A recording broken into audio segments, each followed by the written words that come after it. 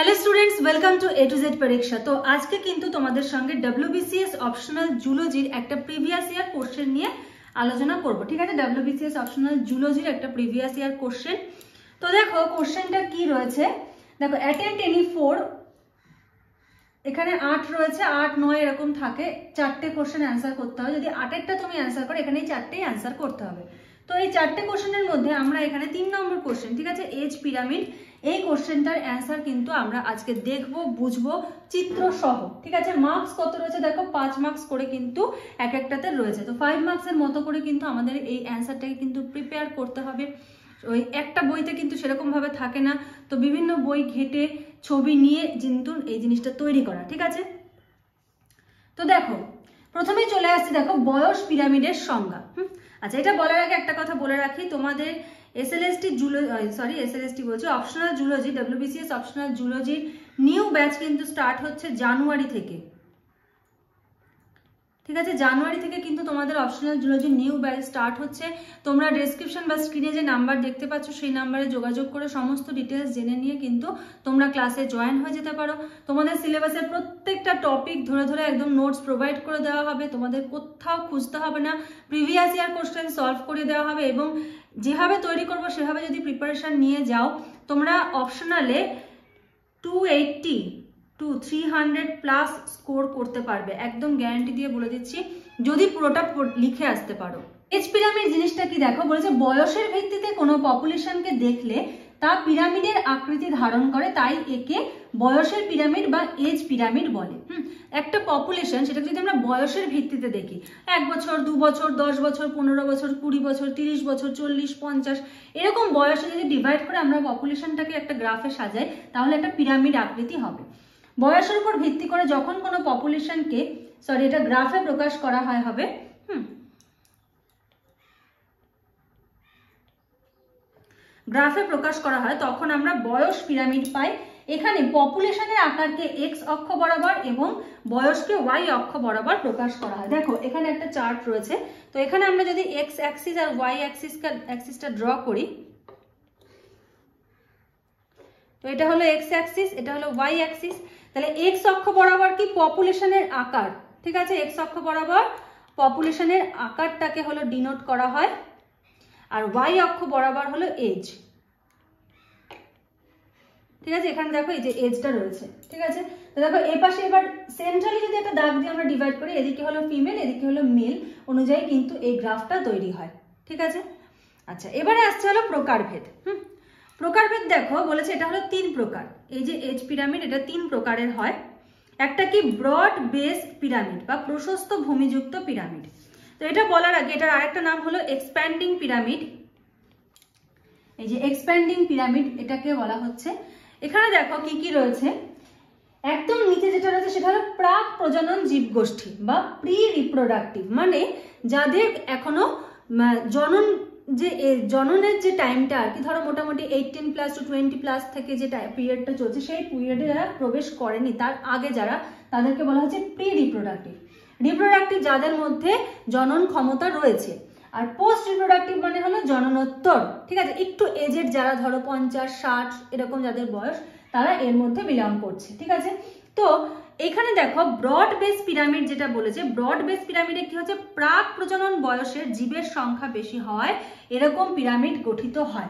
প্রাক প্রজনন means pre reproductive ঠিক আছে? প্রাক দুটোই বাংলা ইংলিশ লিখে দিয়েছি। প্রাক প্রজনন মিনস প্রি রিপ্রোডাক্টিভ এদের সংখ্যা যখন বেশি হয়, তখন কি হয়? একটা ব্রড বেস পিরামিড তৈরি হয়। এই ধরনের পিরামিড উন্নয়নশীল দেশে দেখা যায় মানে ডেভেলপিং কান্ট্রি কান্ট্রি যেগুলো, সেখানে হলো এই ধরনের পিরামিড দেখা যায়। যেখানে জন্মহার মৃত্যুহারের তুলনায় অনেক বেশি। দেখো পোস্ট রিপ্রোডাক্টিভ মানে কি? এখানে হলো যারা রয়েছে, তারা মৃত্যুর কাছে রয়েছে, তাই তো? তাদের এজ হয়ে গেছে, তাদের আয়ু শেষ হয়ে আসছে। আর প্রি রিপ্রোডাক্টিভ মানে এদের জন্ম হয়েছে, নতুন, এরা নতুন প্রজন্ম। তো এদের সংখ্যাটা কি হয়? বেশি হয়। তার মানে জন্মহার বেশি, কিন্তু মৃত্যু হারটা কম বলে এই মাথাটা কিন্তু এখানে সরু হয়ে গেছে, ঠিক আছে? আচ্ছা এই কারণে পিরামিডের ভূমি অনেক প্রশস্ত হয় এবং পিরামিডটি ত্রিভুজাকার হয়। উদাহরণ দেখো, ভারতবর্ষ, নাইজেরিয়াতে এই ধরনের পিরামিড আমরা পপুলেশনে দেখতে পাই। নেক্সট পরে রয়েছে ঘণ্টাকৃতি বা বেল শেপড। ঠিক আছে, এটাকে স্টেবল পপুলেশনও বলা হয়। এটাকে কি পপুলেশন স্টেবল পপুলেশনও কিন্তু বলা হয়। এক্ষেত্রে প্রাক প্রজননক্ষম মানে প্রি রিপ্রোডাক্টিভ আর প্রজননক্ষম মানে রিপ্রোডাক্টিভ বয়সের জীব সংখ্যা প্রায় সমান থাকে।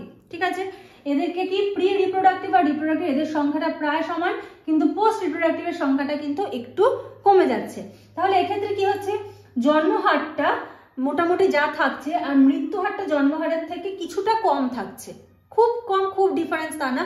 খুব ডিফারেন্স হলে কিন্তু সেটা এইরকম একটা স্ট্রাকচার নিয়ে নেবে, কিন্তু ডিফারেন্সটা একটু কম বলে এটা একটা বেল শেপড স্ট্রাকচার নিয়েছে। ঠিক আছে? আচ্ছা। কলসাকৃতি পিরামিড কলসাকৃতি পিরামিড দেখো, এক্ষেত্রে প্রজননোত্তর জীবের সংখ্যা বেশি হয়। ঠিক আছে? মানে পোস্ট রিপ্রোডাক্টিভ এদের সংখ্যা হলো বেশি। আচ্ছা ঘণ্টাকৃতি পিরামিডটা কোথায় দেখা যায়? এটা হলো জাপানে দেখা যায়। ঠিক আছে? আচ্ছা এবারে কি বলেছে? প্রজননোত্তর মানে এদের কি হচ্ছে? প্রি রিপ্রোডাক্টিভ জন্মহারটা নিয়ন্ত্রণে রয়েছে, ঠিক আছে? যে দেখো না, বলা হয় যে পপুলেশন কন্ট্রোল করতে হবে। তো এই ক্ষেত্রে কি হয়? এদেরটা পপুলেশন কন্ট্রোলে থাকে, হুম? কিন্তু পোস্ট রিপ্রোডাক্টিভের সংখ্যাটা এখানে বেশি। মানে মৃত্যু হার কম, জন্মহারটা মৃত্যু হারটাও কম আর এখানে জন্মহারটাও কিন্তু কম। দুটোই কিন্তু কম হচ্ছে, ঠিক আছে? তো এক্ষেত্রে কি হচ্ছে? এটাকে আর্নশিফ্ট বা কলসাকৃতি বা ডিমিনিশিং পপুলেশন বলা হয়। এটা কাদের মধ্যে দেখা যায়? এটা কিন্তু দেখা যায় ডেভেলপড কান্ট্রি আমেরিকাতে কিন্তু এই জিনিসটা দেখা যায়। কোথায়? আমেরিকা। এটার এক্সাম্পল হলো আমেরিকা। ঠিক আছে? এটা হলো কলসাকৃতি পিরামিড এবারে এই যে আমরা এজ পপুলেশন কেন পড়ব, এটা নিশ্চয়ই কিছু গুরুত্ব আছে, ঠিক আছে? তো দেখো ইম্পর্টেন্স কি বলেছে? ইহা কোনো একটি পপুলেশনের গঠন সম্পর্কে ধারণা দেয়। একটা পপুলেশনের গঠন কীরূপ? সেখানে জন্মহার কিরূপ? মৃত্যুহার সেখানে কোন কোন এজের কতজন লোক রয়েছে? এই সম্বন্ধে একটা ধারণা দেয়। কোনো নির্দিষ্ট স্থানের পপুলেশনের নির্ভরশীল ব্যক্তি, নির্ভরশীল মানে ডিপেন্ডেন্ট কারা ডিপেন্ডেন্ট হয়? যারা শিশু থাকে, তারা ডিপেন্ডেন্ট হয় পিতামাতার প্রতি। যারা বয়স্ক লোক থাকে, বৃদ্ধ বাবা মা থাকে, তারা ছেলে মেয়ের প্রতি ডিপেন্ডেন্ট হয়। তো এই নির্ভরশীল ব্যক্তির সংখ্যা সম্বন্ধে ধারণা দেয়। নির্ভরশীল বলতে শিশু এবং বৃদ্ধ। এর মাধ্যমে মানে এই যে এজ পপুলেশন লিঙ্গ অনুপাত সম্বন্ধে ধারণা পাওয়া যায়। এই যে দেখো, প্রত্যেকটা ছবিকে দেখো মাঝখানে একটা ডিভাইড করা হয়েছে। এপাশেরটা মেল এপাশেরটা ফিমেল তো লিঙ্গ অনুপাত কীরকম মেল ইস টু ফিমেল রেশিওটা কীরকম আছে সেটা সম্বন্ধেও কিন্তু একটা ধারণা আমরা এখান থেকে পাই।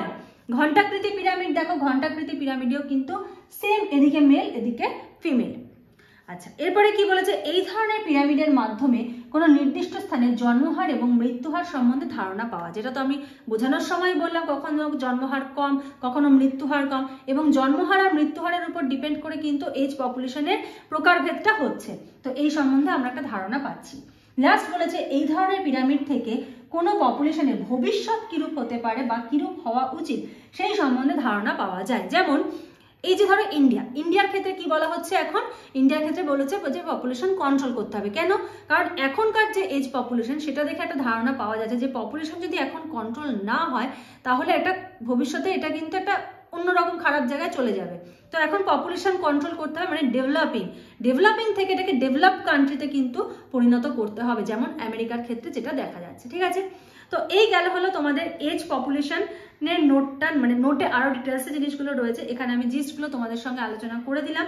তো ভিডিও ভালো লাগলে লাইক করে দিও, যারা নতুন আছো অবশ্যই চ্যানেলটাকে সাবস্ক্রাইব করে নিও। আর তোমাদের নিউ ব্যাচ কিন্তু জানুয়ারি থেকে স্টার্ট হচ্ছে, যারা যারা ক্লাসে জয়েন হতে চাও, তারা নিজের ডেসক্রিপশন বা স্ক্রিনের নাম্বার সেখানে যোগাযোগ করো, করে ক্লাসে জয়েন হয়ে যেও। জানুয়ারির ফার্স্ট উইক থেকে কিন্তু তোমাদের ক্লাস স্টার্ট হবে।